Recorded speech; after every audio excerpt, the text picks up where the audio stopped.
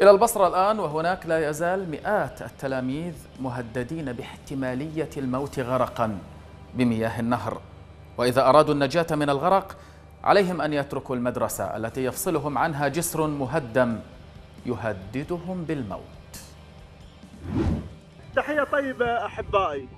بالانتفاضة الشعبانية المناطق اللي بشمال البصرة طلعت تصيح لا ولي إلا علي ونريد قائد جعفري.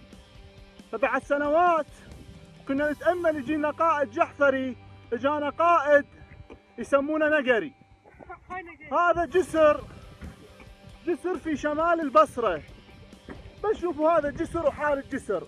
وشوفوا الأطفال شلون يصعدون عليه. شوف هاي مشاريع البصرة وأموال البصرة وفلوس البصرة اللي صرفتها أحزاب الصدفة. شوف الجسر شنو حاله. شوف الأطفال. ما أقدر والله ما أقدر. والله ما أقدر.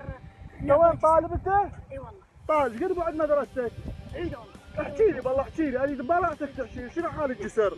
الجسر والله ما نقدر نعبره تسمى المنطقة؟ والله هذا بالنجيرة بشمال البصرة. كم نائب بشمال البصرة؟ كم عضو مجلس محافظة بشمال البصرة؟ هؤلاء الأطفال الذين يكبرون في وطنهم كالغرباء أجبروا على واقع لم يختره أحد منهم. كل يوم يمرون من هنا والكوارث محتملة أن تقع من حين إلى آخر.